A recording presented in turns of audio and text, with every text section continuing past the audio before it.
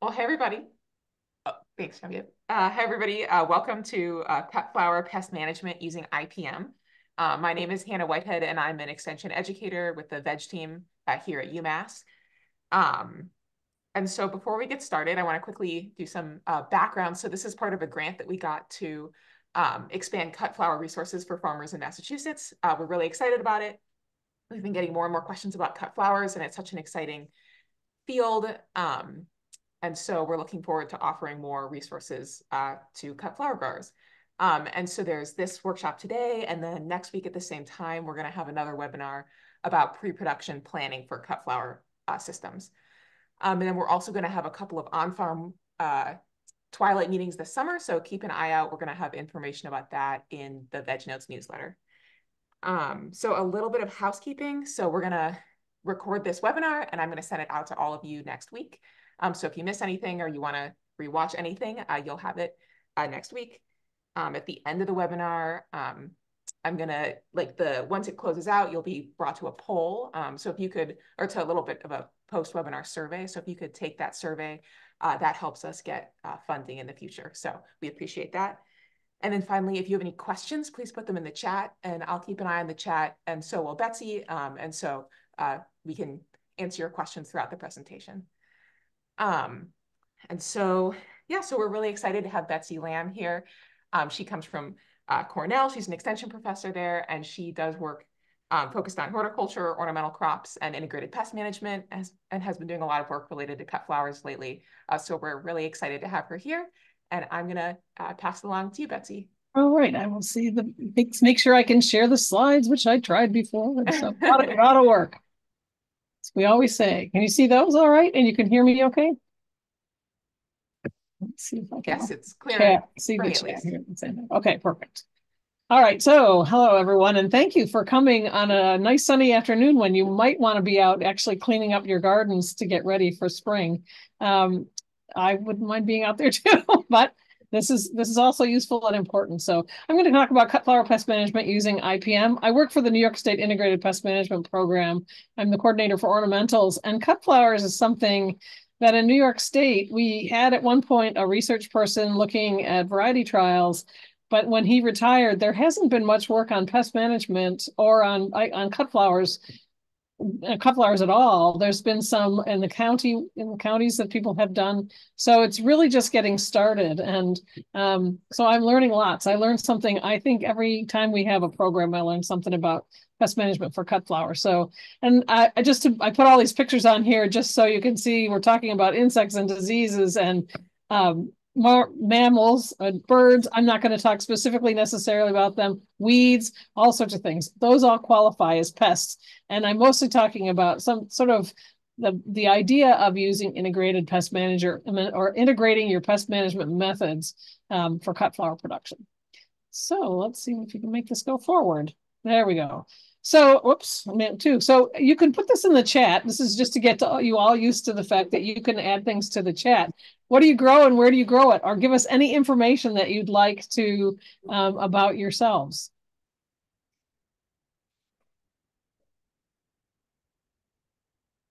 Let's see if we get any answers. It is Friday afternoon. Everybody might be getting kind of sleepy. Dahlias, yep. Oh, yep. Oh, edible cut flowers in Quebec. That's cool.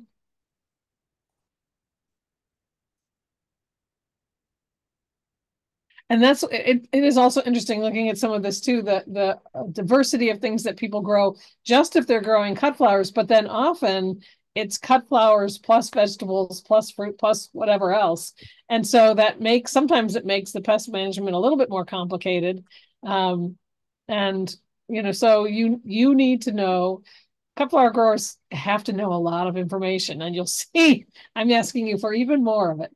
So thanks for putting that in. I'll keep going, but feel free to, to keep adding that information. I'm going to ask you one more question in theory. Oops. Do you think you use integrated pest management already?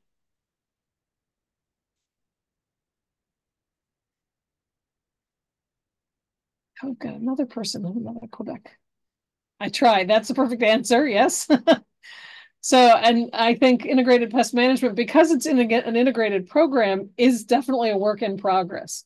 And uh, you will see um, in some of the other things that I've got, it's like it's easy for me as an extension person to say you should do this, this, this, this but you have to fit it into your system. It has to work for you.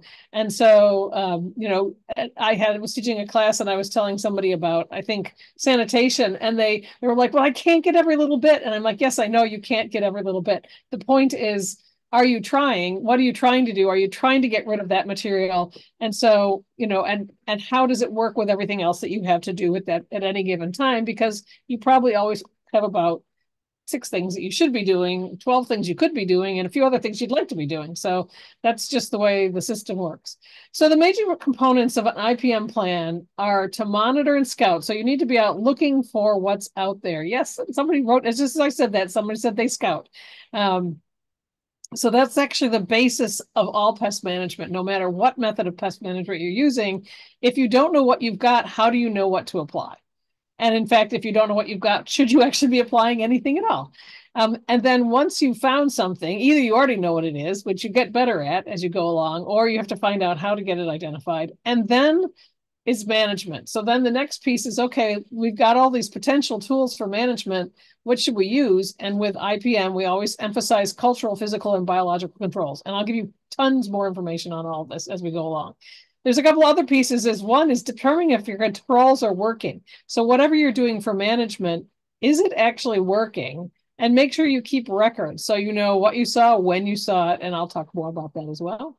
And then, you know, it's gonna, it's not a linear process. It's not even a circular process. It's a circular process with arms where you keep monitoring and you keep identifying and you keep changing what you're doing keep, keep records.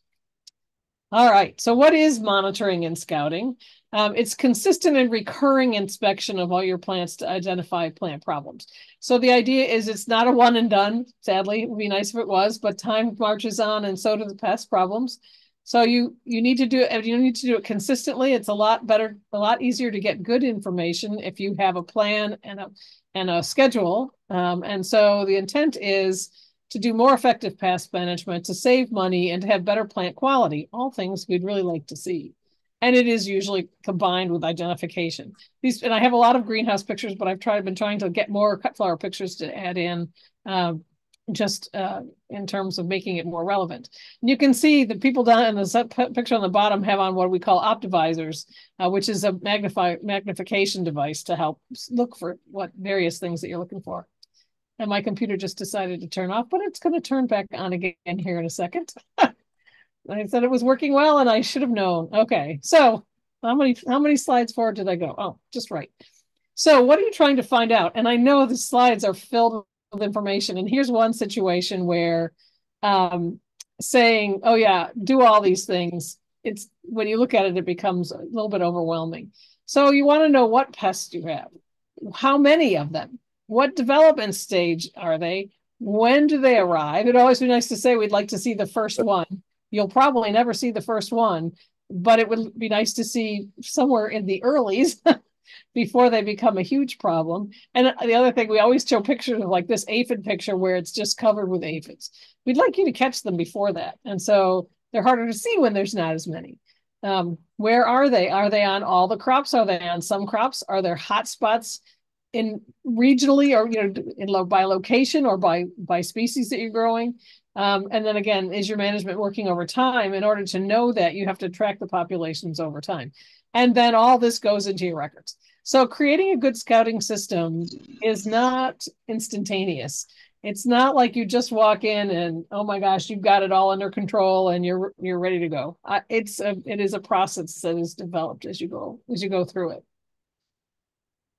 So if you create a scouting plan, that makes it a little bit easier. So um, and this is a, a, diagram that was drawn for a class, which I'll mention in a minute. Um, they are looking at a greenhouse, but they made a plan of what benches do they have? What's on the benches? So what rows do you have? Where are the different crops that you have over time? Because I know it changes over time through a season. Um, and where are you going to be collecting your scouting data? You can't possibly look at every plant. Well, unless you're better than certainly better than I am, but it's not too difficult to be better scout than I am. But so the idea is to make it easy. So it's planned and consistent. You start knowing, okay, we always see aphids first on this plant. We always see thrips on this type of plant. Um, and so knowing the past history makes it easier to reduce the amount of scouting that you have to do and making it more efficient. So when are you scouting? So pre pre pre crop, uh, if you've got a greenhouse, we talk about scouting the weeds before you put anything in there. In a field, you might also be scouting the weeds or looking to see what's out there already so that you know if you're going to be planting into a situation where there are potentially some problems all, already. Incoming plant material is a big one. We don't worry quite as much about seeded crops. Um, there are a few things that can be spread uh, by the seed, but we don't have a huge problem with that in cut flowers. Um, incoming cuttings, though, is another thing. And um, I, as I said, I keep learning things. So not just cuttings, but also, or seedlings, but also um, corms, for example, uh, gladiolus thrips come in on the, potentially can come in on the corms and you will not notice them unless you're really looking for them. So making sure you're scouting what's coming in is a good thing. During production makes sense. And then sometimes before harvest is really important because you need to know what the quality is of what's going out. And so um, the what nice thing that um, you're doing, one nice thing that you have with cut flower farms is you're out there all the time because you're harvesting so much. So it makes it a little bit easier to see what's going on because you get good at it because you have to look at everything all the time. And then this, I when I start talking about this, I love this this gift because it's like, yep, this is what it feels like. My head's exploding. When was the first indication there was a problem? What crops was it on? When did you see it? Was it associated with certain environmental conditions? What other information would help making scouting easier the next time? And then the concept of making sure you take pictures for your records and sending in samples if you need things to be identified. So uh, there's a couple things. UMass does have uh, a diagnostic lab, and that's the link, which if you just Google plant diagnostics and UMass, you will get it. Um, and I'm sure if you ask Hannah, she can tell you all the information you'd need to know. Uh, there's also this is an interesting app that's that's run by a bunch of different states, but I think many I think anyone can send in pictures, uh, and they'll do some diagnostics for you as well. And I believe it's a free it's a free app, so um, you know, if if you need something, um, you can try it out. It means you need to be able to take good pictures uh, if you're going to send them in and ask for diagnosis with that. And you may get some questions on, could you go and take me some more pictures to show um, more, get more information. And then the concept of collecting information. If you've got some kind of a scouting sheet or form, something that makes it easy for you, something that makes sense for your brain, uh, as as to where you're going to put this information. Um, you know, creating a scouting app on a phone is nice. we are working on that for greenhouse, but uh, I haven't seen any for cut flowers. But some way to at least take notes of what did you see, when did you see it, and and then over time, what are you doing about it? And collecting more information that you think you're going to need is always a good idea because you never know when it's like, oh yeah, there's that one thing that I wrote down that that actually tells me something about this pest that I needed to know. So this is our greenhouse scout school. We're in the middle of it at the moment. Thank you, uh, Genevieve, to put for putting in the link there. Um, a greenhouse scout school that we're actually running at the moment and running it as it's both as webinars as in a certificate program. The certificate program is closed, but if you're interested in the webinars, um, just put your name and email or send me an email. I actually put my email in there, or actually maybe Hannah or Genevieve could put my my email in the chat. Um, there's still uh, three week three weeks left, three webinars left. It's all on scouting. It's aimed at greenhouses, but um, it the most of the information is relevant to cut flowers and other pests as well. These are some of the students from when we taught it last fall. The best selfie we got. I like this picture. I've been putting it in everything I do. And if you if you sign up now, um, you can I'll get send you the recordings of all the first ones that have already happened. There's my advertisement for the day. Thank you. So okay, now you found something. Now what are you going to do? But now you have to identify what it is. And so there's some things that will help you, and sometimes knowing some of the behavior and the look also of the of the pest makes it a little bit easier. So this is botrytis season. And when you're in a greenhouse, botrytis might look like this, called gray mold. You can understand why. When it's nice when it's nice and fuzzy like that, it's easy to identify. It doesn't necessarily start out that way, but it will get that way. But it likes cool temperatures, high relative humidity, low light. So if you can you can get it in your greenhouse when you're starting things easily if things are too moist. Um, there are essentially spores everywhere so it's not something that you can necessarily avoid. And it's also encouraged by dead material on leaves. So if you have for some reason you might have hanging baskets or something over what you're starting um, be be cognizant of what's falling off them onto the leaves below where you might get um, botrytis starting but there's going to be a but in also in all of these. This is Botrytis cinerea and, and Botrytis peony. So this is Botrytis of peony. And it doesn't look at all like that gray fluffy stuff because in a greenhouse there's not as much air current and so forth. But you get some of the browning. So if you had the browning on the foliage this is pretty heavy but you might you probably you might have still gotten good flowers out of this so you might not do anything much about this. If you're if you're seeing the lesions up on the flower buds, now you've lost your harvest. And you can get lesions on the stems because this one will also overwinter in the soil. So if you're seeing a lot of it, you might need to move where you put your peonies in next. And I probably wouldn't dig up the old peonies and move them because they may bring it with them. Um, I would start a new peony bed but and there's again there's other management methods for this as well. But sometimes if you think of of botrytis only looking like that fluffy gray fluffy gray mold you might not identify this as botrytis right again knowing behavior helps with thrips. They like tight spaces like flowers. This is western flower thrips. There are other thrips and gladiolus thrips i already mentioned and they're a little bit different. They tend to like tight spaces too but they like them in the corm um, so you have to get them out to see them. So in greenhouses, we use yellow sticky cards, uh, which works well. And that picture is there just to show you how small they are. They're not this nice big thing here. They're these little yellowish things here. Um, but if you're trying to find out if you've got them in your flowers, you can shake your flowers into a plastic bag. You might breathe on the flowers first, which seems crazy, but the carbon dioxide slows them down. And sometimes if you're tapping them onto a surface, breathing into the into the flowers slows them down enough to see them. Um, you can do tap tests onto white surfaces or whatever. We like um, white frisbees or platters that have edges so the wind doesn't blow them off when you're trying to see what's going on. And sometimes with them, something like thrips, because they're not evident necessarily, um, they, as they're hiding, you might not know you've got them until you see the damage. And again, this kind of damage sort of on leaves, on foliage, it's often sort of silvery and you will see little black specks in there, little fecal specks mixed in. In this picture, you can see the thrips too, but you don't always see the thrips. Sometimes you just see the silvering in these little black dots. And on flowers, what you see is color clearing because they're actually um, damaging the cells so the contents come out, so all the color pigments come out as well. But here's the gladiolus thrips. These come in with and survive on the corms. And in this case, if you saw just this flower, you might say, oh, maybe that's a virus, or even these leaf patterns, you might think, oh, I don't know. But so again, looking closely and getting some more information often or get often or getting help uh, with identification um, will help you out because these don't act quite the way that Western flower thrips do, for example.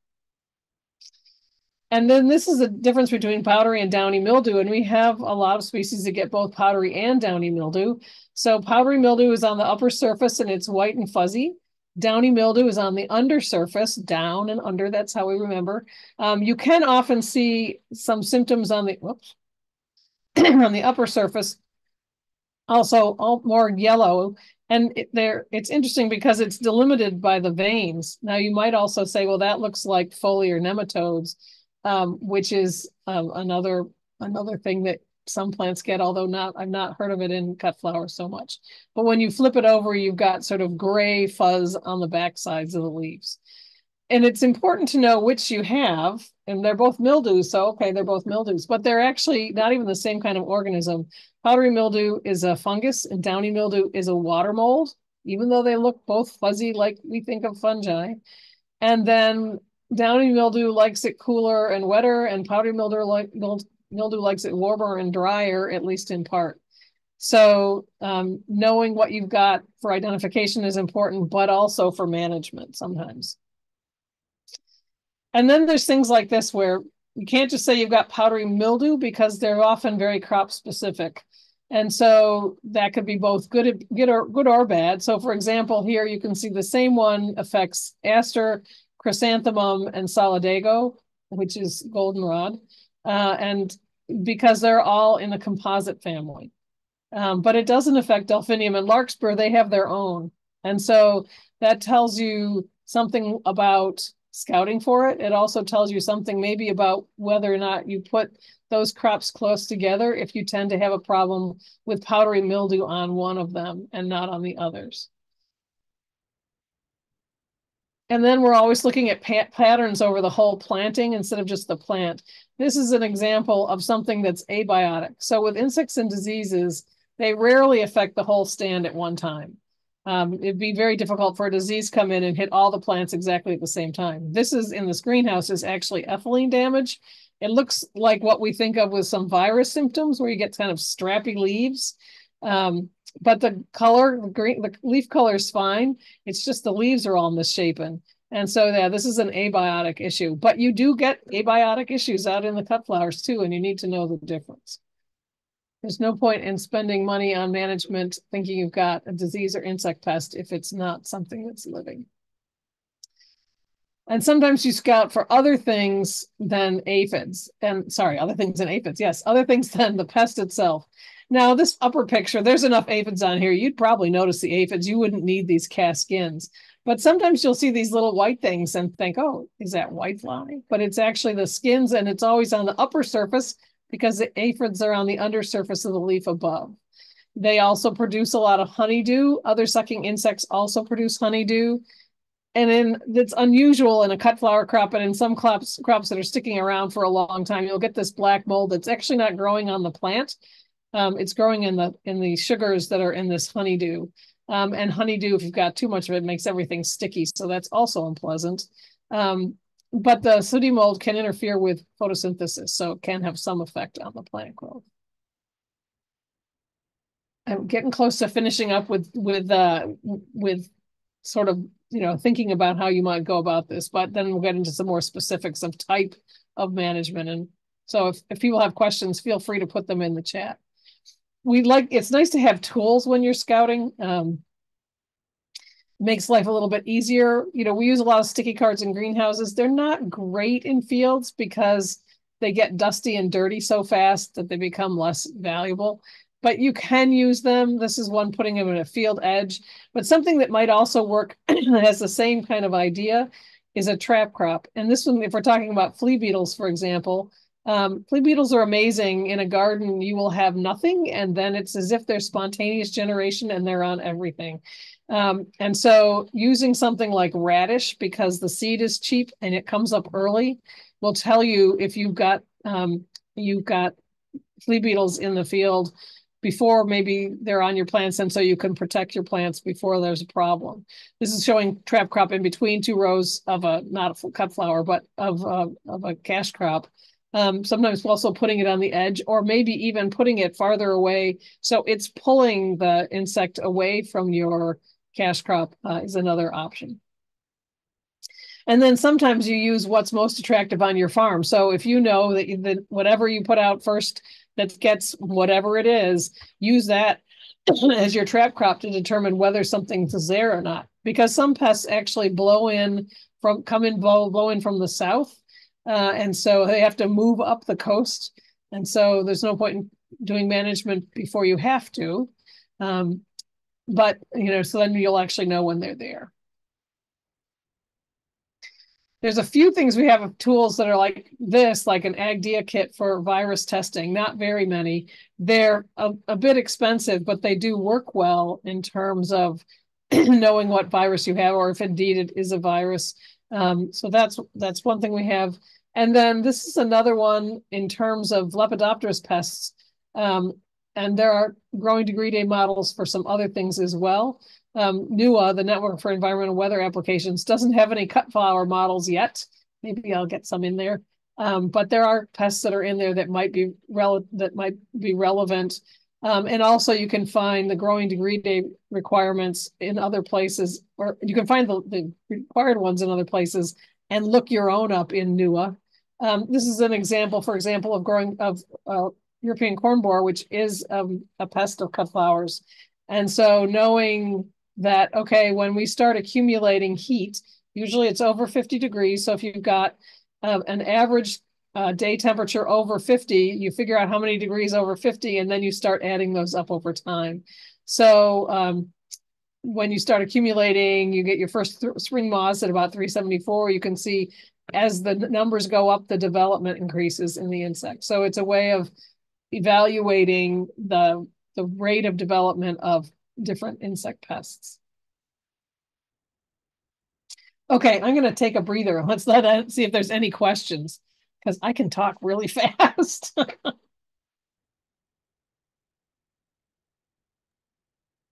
And I think folks can, you can put questions or comments in the chat and you're, you can also unmute if you have something to say. Their heads have blown up. if they haven't, they might. Okay. Feel free to put them in as we go along and I'll just keep yakking.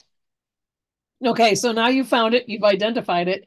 Now you need to figure out how to manage it. Or actually, the first question is, do you need to manage it? And there's some other pieces of information that go in there too. But the concept of integrated pest management is that we look at all, nope, I'm going to talk about row covers. And um, 50 degrees, yes, we use 50 degrees as a day average temperature over the uh, day. So the usual thing is to take the max and the min for the day, maximum temperature and the minimum temperature, average them, and use that as the average temperature we're talking about, and then subtract 50. You can get much more granular than that if you feel like it, but that is the most most common thing. And yep, I'm going to talk about row covers a, a bit.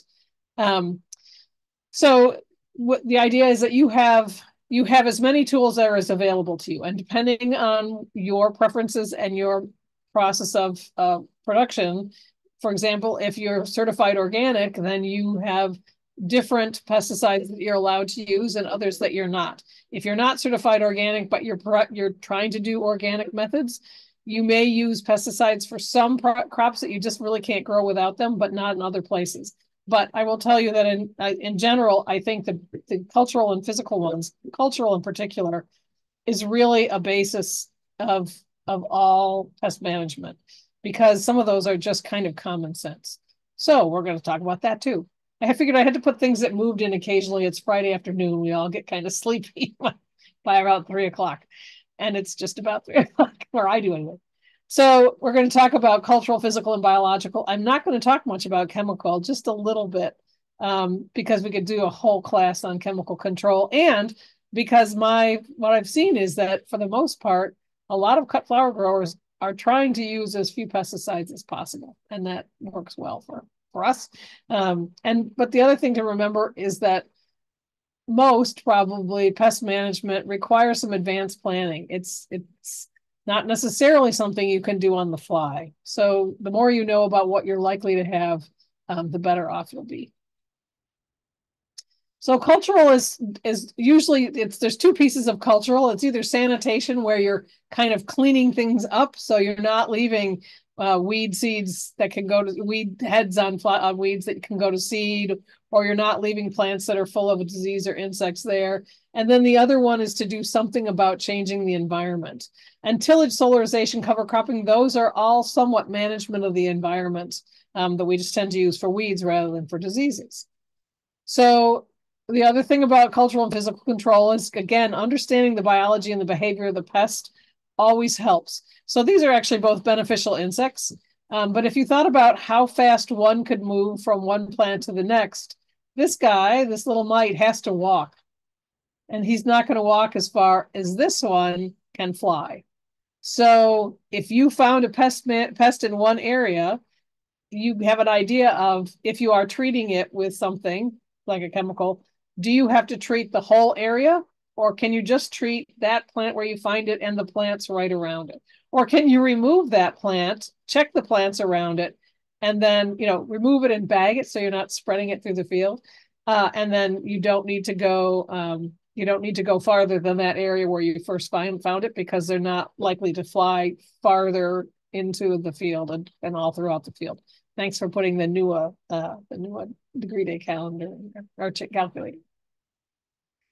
so there's also things with spread. This is an example from powdery mildew. So I said there were spores, uh, for, sorry, the spores are, are um, move on wind currents. Some things were, move on water splash and some things insects carry and some things we carry around.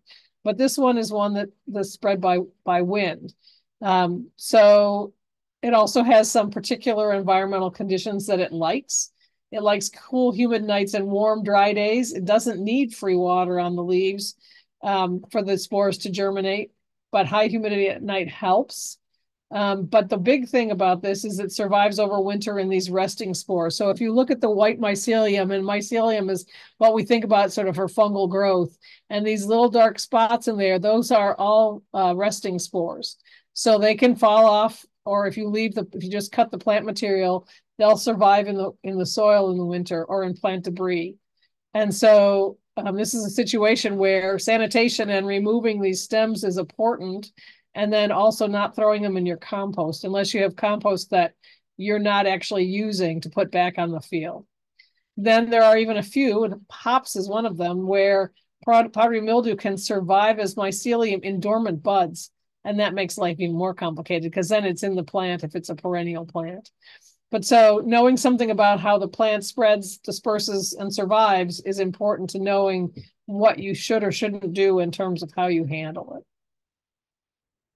This is again using that concept of trap crop, but looking more at dispersal. So if you know that something moves in from outside the field, it doesn't survive in the field, this is an example, a vegetable example, but looking at collard around cabbage or blue Hubbard squash around yellow summer squash. I don't know why I want to do that. It always decides to move. Our cherry peppers around bell peppers. It it the insects will move into those areas first because they hit them first. And then what you might do is you might do chemical control just on those trap crop rows. And you may never harvest those trap crop rows. They may be just, just there to collect the pests and keep them out of the, the crop that you're you're growing. Now it does take space, and if you have a small amount of space, um, it's something you need to think about. But you know, if you can get by with a couple of rows of the trap crop and then multiple rows of the crop, maybe that's maybe that's worth it to have the space used. So let's start talking about cultural control. Um, this is I saw this list somewhere, Morgan State University, and it made me laugh partly because it says that slugs like banana splits. I can't verify that, but then who doesn't like banana splits? But the concept of if you if you give them what they don't like and don't give them what they do like, it's how you're going to control them. Now we always have this balance. It's fine to say, oh, dry conditions. Well, yes, but dry conditions are also going to affect the plants that you're growing. So we were hoping to find a happy medium. They don't like salt. I wouldn't probably be salting my crop growing area although there are people who talk about using that for weed management, but as long term, it seems like a bad idea. So you're always trying to balance what level works well for the crop you're growing and doesn't work as well for the pests you're trying to control.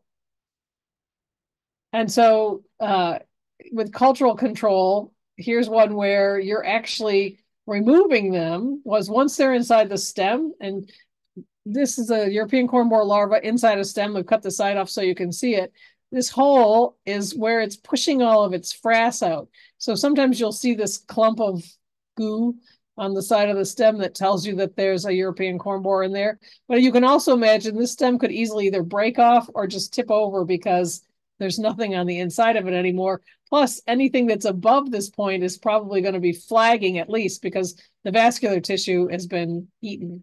Um, but if you cut this out below where the larva is, and then don't drop it on the ground because it might pupate in there as well. So cut it and take it away. Now you've removed that larva. It's not going to turn into an adult, a pupa and then an adult, and it's not going to lay eggs for another generation. And the same thing at the end of the season is to clean up your stems. If you've had European corn borer, just clean them all up um, so the pupae won't overwinter in those stems and start the process early the next spring. Here's solarization, which um, it's interesting. Tarping's getting a lot of uh, press at the moment, and I'll show you tarping in a second. This is for weed management, and what you're doing is changing the environment. This looks like white plastic. It's actually clear plastic. There's just condensation on it. It's a project that we did um, for putting in a beneficial habitat. But UMaine's done some work where they said in the spring and summer, even two weeks is enough where the sunlight comes through the plastic and actually heats up the soil. So you can see we've prepared the soil already. We tilled it and it's moist, and then we cover it for a few weeks. Um, and then this is several months later after we took it off. You can see that the solarization, there actually was killing of some of the weed seeds. Um, but interestingly, we discovered that portulaca loved it under there. Purslane like loved it under there and grew very happily under those um, the in the hotter conditions. Um, but that's a way to actually heat the soil, not just the plastic, by using clear plastic. If you're using dark plastic, what you're doing is actually preventing sunlight from reaching the soil. And so um, it's a different process for getting to the same place so that there's no sunlight coming through. And so the plants, the seed weeds are weed seeds are, if they germinate, they then die. So you're mostly heating the plastic, although there is some heating of the soil, but not quite as much. It is interesting to see how long that solar that uh, tarping effect works.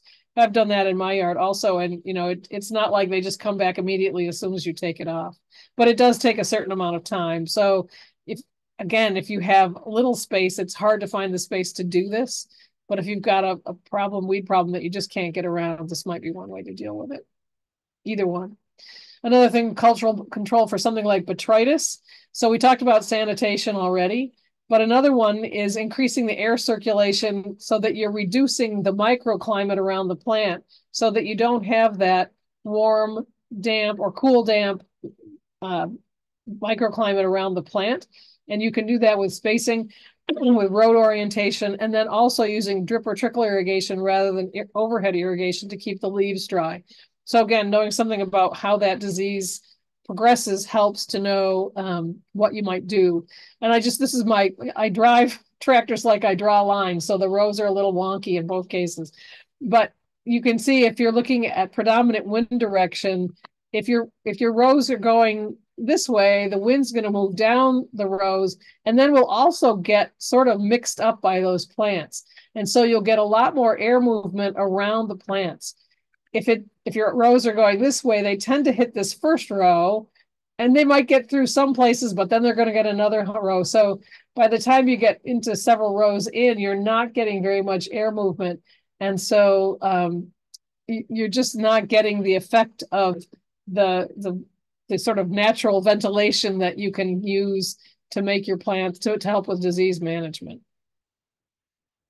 Hey, Betsy, we have a quick question on European corn borer. Uh, someone asked whether they're common on snapdragons. Oh, that's a good idea. Good question. Your other slide. As far as I know, they like everything. I know certainly I've heard them on dahlias, um, but I wouldn't be surprised to hear them hear that they are also on snapdragons. And if other people know the answers to these questions too, um, feel free to put in answers. You know, we don't. I, it's a it's a it's a community. That's one of the things I like about cut flower growers. It definitely is a community, and we're sort of sharing information because none of us have all of it. so let's talk about physical physical control methods. I love this picture because I'm not sure who's sassing who. The woman putting up the fence is sassing the deer, or the deer sassing the woman putting up the fence, like, oh, I'll figure out a way. That's a pretty tall fence. They probably won't get off over it. So with physical control, you're actually usually adding something to prevent um, prevent them getting where they where you don't want them to be. So row covers were mentioned.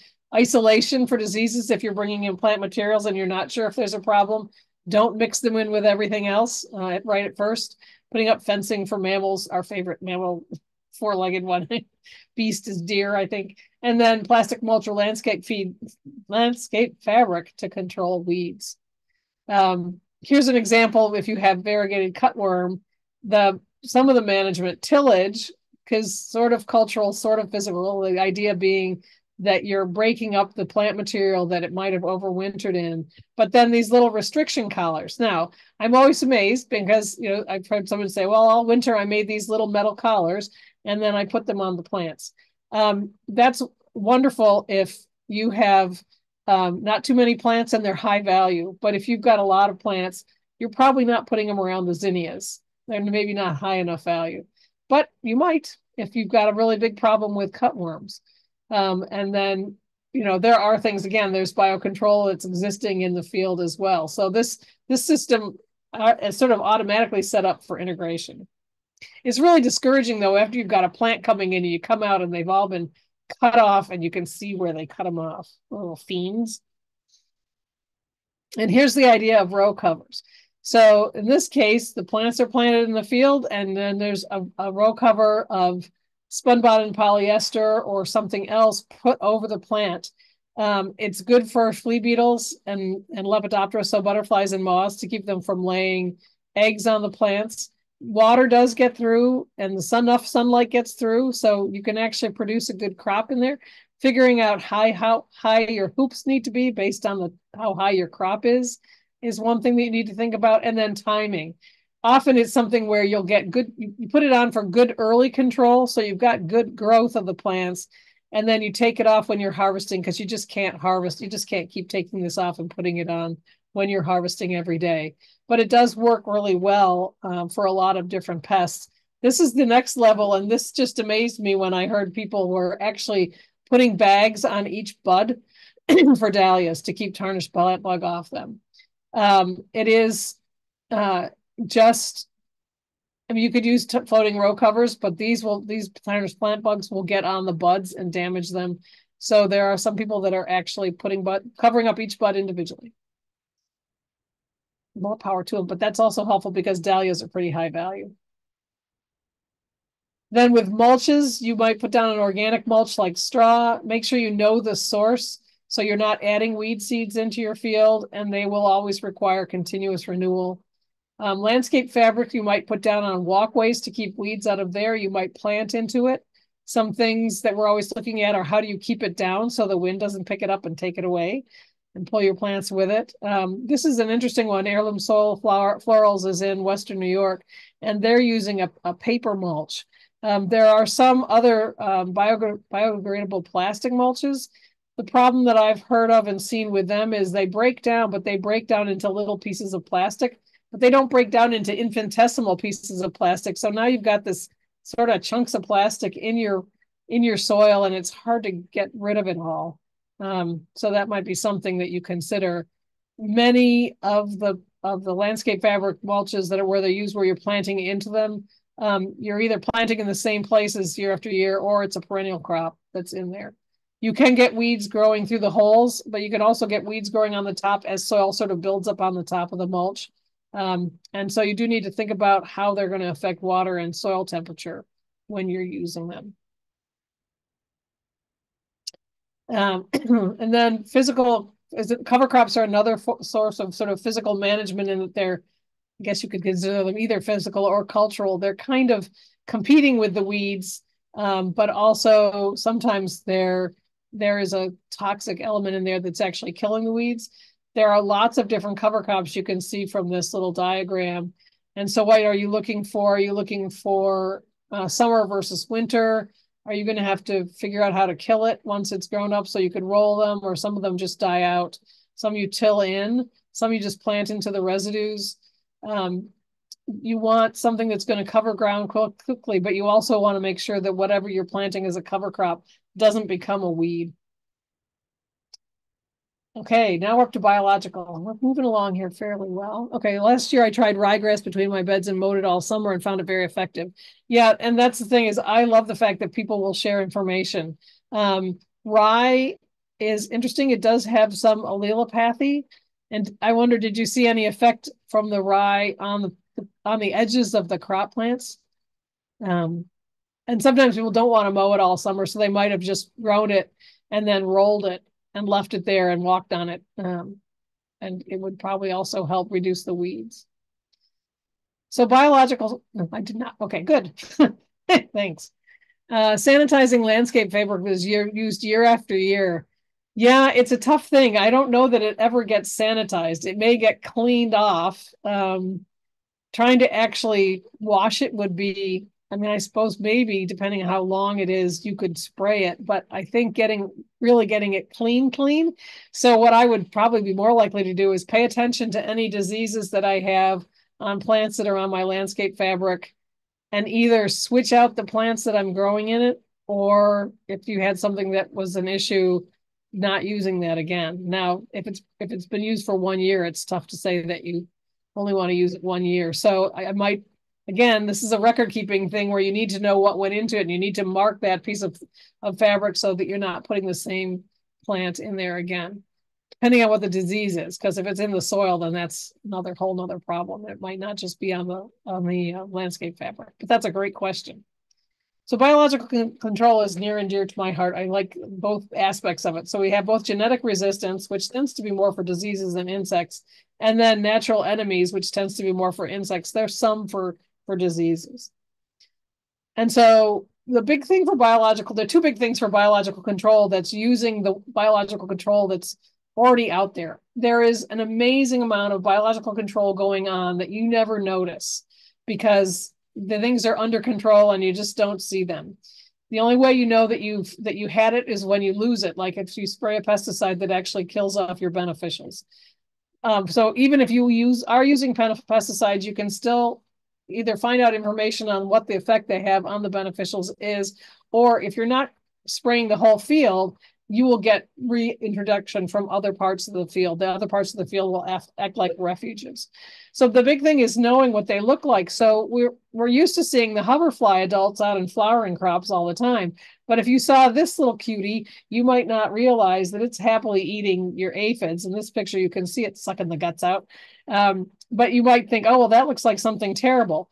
Um, again, this one you're probably not going to see the adults. This is an aphidius wasp, but you might see um, aphid mummies. And last summer was an amazing aphid year, and I had aphids on a cup plant, and they're like just the leaves were covered and they're red and they were all wiggling together less than a week later, I went out and there were uh, mummies, there were ladybug larvae, and there was something else out floating around out there that was eating them. And less than a week after that, there were the only aphids left were mummies. So mummies are means that this is had laid an egg in the aphid. It's grown up in the aphid. It's eaten the aphid out from the inside. And then actually a wasp was going to come out the back end. So this one I can kind of tell has a hole in the back end. So it's actually produced another wasp to go start it all over again if you see something like this on a hornworm, leave it because these are all um, beneficial insects. They're pupae and they're all going to hatch out. So we have quite a lot of things that are going on out there. Here's a few more. You might not know what lacewing larvae look like or lacewing eggs. Uh, if you see this, you might freak out and think you've got some pest, but that's actually ladybug eggs, and this is a ladybug larva. And you know, if you see a fly, you're probably not going to worry too much because we got flies all over the place, but you might not realize, whoops, that it's going to lay eggs on a, a, a, caterpillar. So it might actually control your caterpillars. No suppliers in the States, but in Eastern Canada, there's a whole mix up about annual ryegrass and perennial ryegrass and lack of identification or differentiation. So you could end up with a perennial cover crop by accident unless you find a reputable and well-informed source for your cover crop. That's really interesting. I have not heard that for the US. I don't know that anyone else has, but that's a big deal to not know whether you've got perennial or annual. Um, so yeah, make sure you know who you're getting your stuff from, I think, I guess is the answer there. So how do you encourage beneficial insects? Uh, in greenhouses, we tend to add them. And it's not impossible to do that with some of them out in the field, but it's much better to actually not kill them with pesticides and then provide habitat and food source to encourage the populations. Now you've got you've got flowers out in your field, so you've got nectar sources and you've got pollen sources, so you're in a in a pretty good position anyway. But sometimes people will put in things like alyssum. Often there are plants with a lot of small flowers that are really good at providing habitat uh, for beneficial insects. And then um, weeds will actually work if you've got some weeds with small flowers. Uh, and so, you know, that anything that you're doing to provide them with what they need to survive will help encourage the numbers. Uh, paper mulch, I'm using three to four layers on difficult to weed flowers like statice successfully. Great. Thank you for putting that in. And so, you know, that's again, finding out what other people are doing. Um, and, and Heritage Soil really likes the paper mulch. Um, so, it, and it may break down differently than the plastic, the biodegradable plastic also. Uh, and then the other part of genetic resistance is host plant resistance. So you can see this row, this is um, verbena, which is not the cut flower, but you can see this row looks much different than the rows beside it. So this one is powdery mildew resistant. And the other two next to it uh, both have powdery mildew. So it's not just a question of if there's no powdery mildew, it looks good. There's powdery mildew in this field, so it's actually genetically resistant. And we'd like more, we'd like to be able to find out the information on that. And I've been working on it. I just don't have them out yet. So we've got this list of, of uh, plants that we got the draft anyway. Ooh, this is terribly fuzzy picture, but what we have is we started with uh, perennials. So we have this disease and insect resistant ornamental plants fact sheets. And the idea is any information that we can find on any of the diseases and insects for which there is resistance, we're putting them in the fact sheet. So I'll let Hannah know when I've got them and um, she can tell everybody. And the only thing I'm going to say about pesticides really is um, just think of what to think about when you're using them. So we want to make sure that you have a pesticide that works. They don't all work the same way. They don't all work on all crops the same way. They don't all work on all pests the same way. So make sure that you're getting information and that you know that it works. Also know what the um, what the risks are. I don't know. Actually, Jonathan maybe can answer what kind of paper is in the paper mulch. Um, make sure you know what the risks are, both to you and to the non-target organisms. Make sure you know if there are residues. Again, you're the one who's going to be contacting the most, but also for your customers. I mentioned non-target organisms. Make sure you know if you're using them, the timing and whether how that relates to the stage of the insect or the disease. And think about methods to reduce the amount and frequency of use. As I said, starting with a basis of, of cultural and physical control, knowing things like is it a hot spot or is it through the whole field um, and so you can you can apply them just where you need them. And again it's like okay there's a whole bunch of information i just told you you needed. So whoops, there is uh, the new york and new england management guidelines for greenhouse floriculture and herbaceous ornamentals is published. I know we can get it you can get it through the cornell bookstore online. Um, it probably is available some way through umass. I'm not sure at this point how to, to tell you what to do, but Hannah probably can figure that out. Um, it has a lot of information on what you can use, how much to use, what it's labeled for. Now, New York and New England labels are not always the same. Ours are usually a little more strict, um, but not always. But the other thing that this book has that's amazing is how much um, integrated pest management information it has. So it'll tell you things like only under warm, wet conditions, um, and then here's cultural practices that you can use to reduce the amount of the disease. So uh, it, it's a very useful resource. And then this one I hear about all the time. And the picture reason there's a picture of Dawn dish detergent is the most commonly thing, thing I hear about people using. And I think it's because it's got a duck on the on the label or something. There's two things. If you're using it as a pesticide, at least by New York state law, it must have a pesticide label on it. So Dawn dish detergent does not have a pesticide label. Now there are insecticidal soaps, and you're like, well, it's a soap, right? Yes, but insecticidal soaps have been tested, and there are still some plants that they will burn. But Dawn dish detergent is meant to take greases and oils off, and that's what the surface of a plant is covered with. And I, whenever I tell this, I I did it. I was doing a talk and I mentioned it, and I got an email right away from somebody saying, yep, I toasted a whole field of zinnias with using Dawn dish detergent. So don't. and you can find it listed on the online all over the place. You can find a lot of stuff um, listed all over the all over the place on the internet and be really, really careful. Yeah, so the the New England doesn't um, New England doesn't currently have uh, pest management, but actually now we've combined. So New York, it is New York and New England, so they are now joint. Um, pyrethrum or BT use, positives from organic garden centers, but negatives from organic farmers themselves, mostly about pyrethrum. I have major issues with Asiatic beetles and hand picking is next to impossible. Um, BTs are lovely. They're relatively soft. They're pretty, uh, they're they're pretty directed at just the single, just um, well, there's different kinds of BTs, but often we use them for Lepidopterous pests. Um, there are issues um, on almost any pesticide you can use.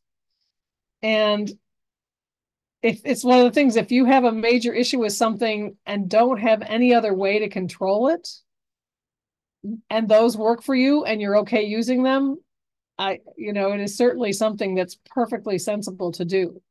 Um, you, what your other options? Is like, well, then you don't grow those things, or you find other other ways to control them it's interesting to hear Asiatic beetles because I almost always hear Japanese beetles as the question that everyone wants to know how to control those. And so Japanese beetles, we have very good lures for them. They're very attractive to Japanese beetles. Unfortunately, they don't all go into the traps. So if you're going to use something like a Japanese beetle trap, don't put it near your, your cut flowers. Put it somewhere else so that it will pull them far away.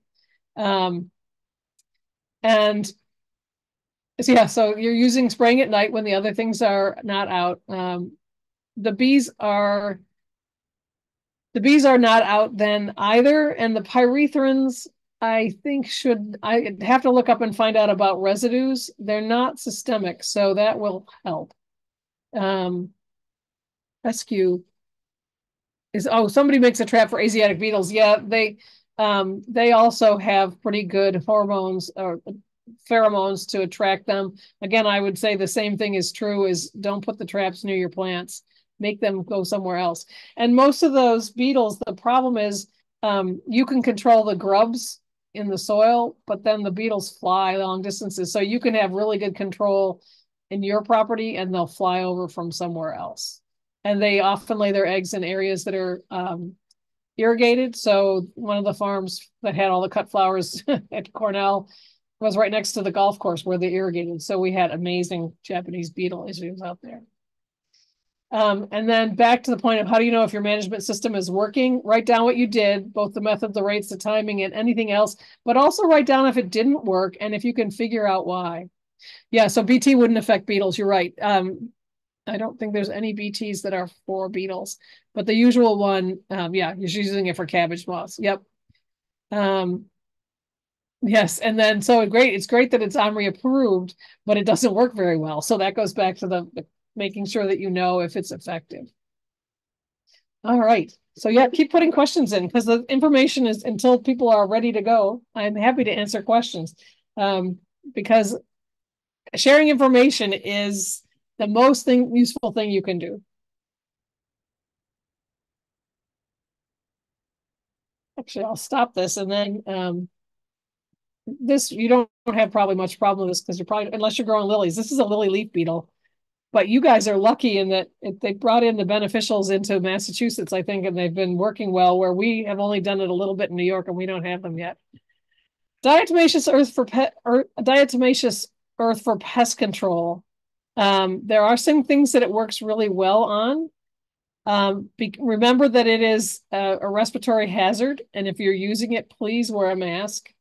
Um, it doesn't work on I, I'm sometimes surprised by the things that people use it on because it doesn't seem like it should work on those. Um, but I I read about it a lot. Um, and Jessica, lucky you, lily lily beetles in, in the Finger Lakes. Yes, we have lots of them. We we hope we're hoping there used to be someone in um, Rhode Island that was producing the beneficials, and we got them from her for a while. We did some releases, although not in the Finger Lakes. Um, but they just someone from Michigan, just Minnesota, just came out last summer to look for the beneficials and didn't find any around here. Uh, so I have difficulty with annual asters yellowing and dieback. There is uh, something called aster yellows, which I think is a, a phytoplasma, kind of like a virus. Um, but it might also be a root rot. Um, it's one of those where the specifics, I, you know, um, pictures are good and a little bit more information is probably helpful. Stink bugs on snapdragons. yes, besides basically hand picking. That one I don't have, so someone else might. Um, oh, 80, 80 pound blank new newsprint in rolls. Yep, put a cable in them and pull. Rosemary and dormant oil solution with hose and sprayer effective on roses. What for? I've been skishing them and they're awful. This is lily leaf beetle and they're awful eggs as fast as I can, but I can't always keep up. Yeah, and the adults are hard to catch. The disgusting larvae, which cover themselves with fecal material, are much easier to catch, but much less pleasant. Maybe want to talk about a, an unpleasant adolescent. Lily leaf beetles have them. Um, increasing Brix levels in plants for making plants less palatable for pests. I can't quite imagine. I think I heard about that once, and and I don't understand. So increasing Brix levels, basically Brix measures the sugars. So when I was working on squash and we were trying to make baby food, we wanted high Brix squash because it was sweeter. And I don't know why that would make a plant less palatable for pests. Um, again, maybe Yeah, I would imagine else- that would increase the palatability. Yeah, could be leafhoppers on asters. That's true, and I think they can't carry the aster yellows. Um, neem mixed with spinosad, and again, always check to make sure that it's on the label. New York, we have to have both the pest and the site production site like cut flowers on the label, and it makes life really difficult. Um, I don't know Massachusetts whether they you have quite the same um, same issues.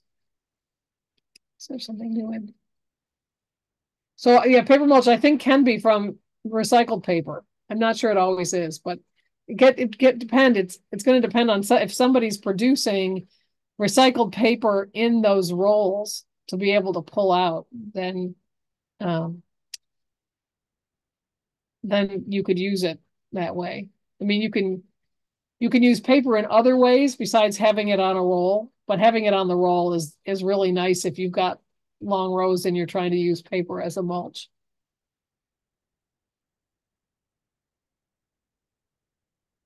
We're reading up the Brix, but they can't digest the high amounts of sugars.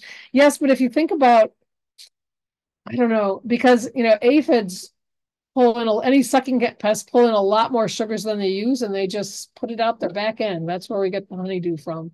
So they pull the they pull the proteins out. Now, um, and the question is whether you can get it high enough and what else it's going to do to the plant. I don't know. It's an interesting question because, you know, just because I can't think of a reason why it might not work doesn't mean it doesn't.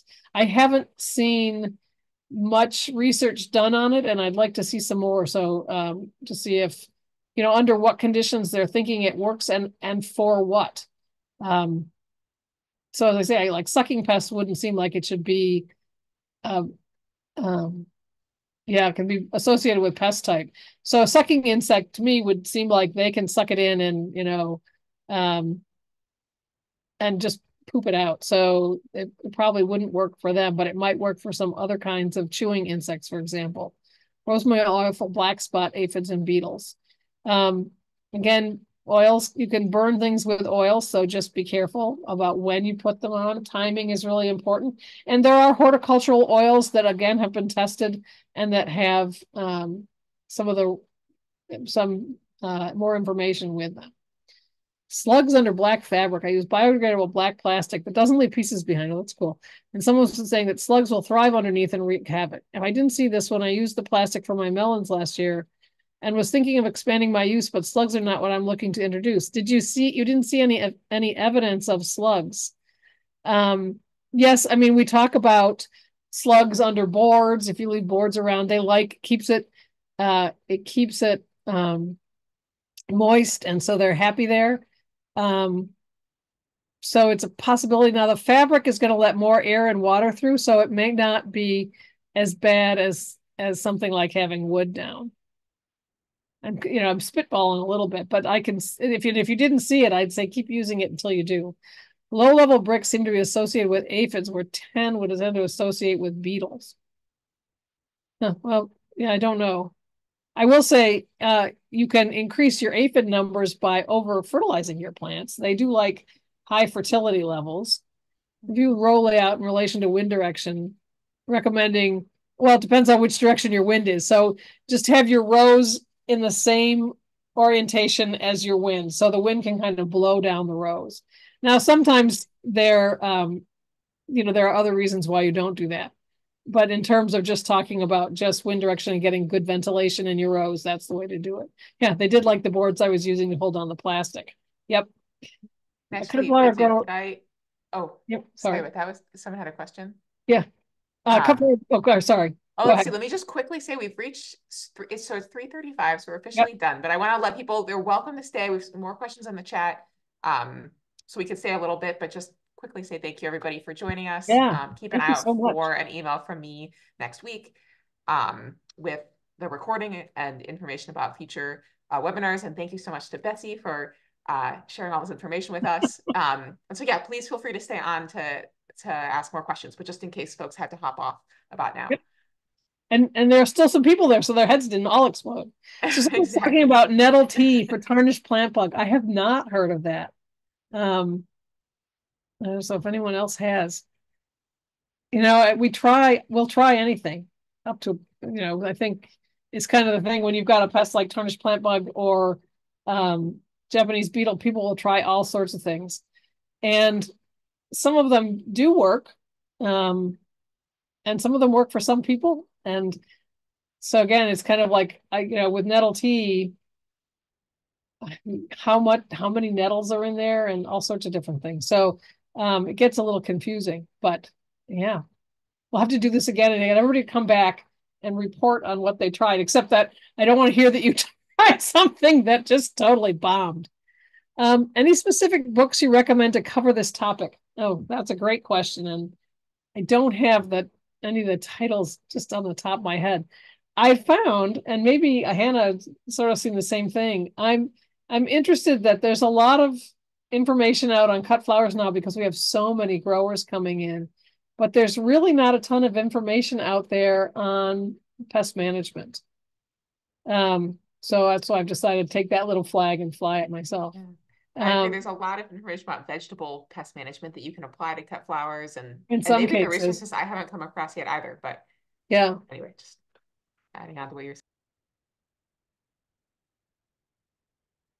Let's see. What happens if I click on this? Yeah, there's organic insect and disease management from Cornell. That's the link that someone just put in. Um, and so again, they they should be fairly transferable, but not always.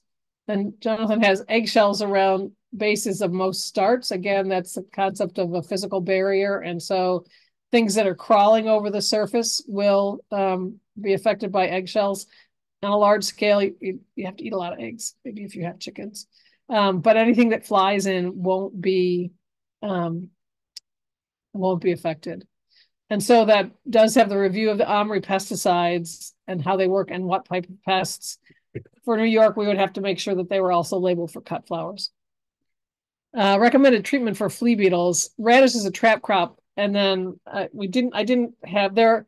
Again, if you can keep them out of your crop, that's one of the best things. The other thing is looking at uh, floating row covers was another thing. Um, and so um, there are, I think there are also some chemis chemistries that you can use for flea beetles.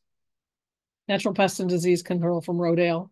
Yeah, it'd be nice if we'd start seeing some that was specifically aimed at at cut flowers because now, like like vegetables, um, you've often got a lot of different species there. Cut flowers sometimes even more, and sometimes with cut flowers, it's frustrating because you can get have one variety that doesn't seem to get the pest, and the next variety will. And when you start using new varieties, you don't always know which ones are going to be affected. So it makes life much more. You, don't go into cut flower production if you're not entrepreneurial, brave, and kind of pigheaded. It's the best way to be.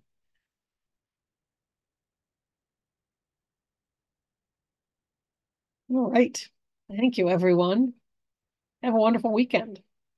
It's supposed to be 60 here. Over here It's too. nice here too, yeah. Yep. Well, thanks again, everybody, and thanks again, Betsy. And uh, we look forward to maybe seeing you all uh, next week. Um, Yeah.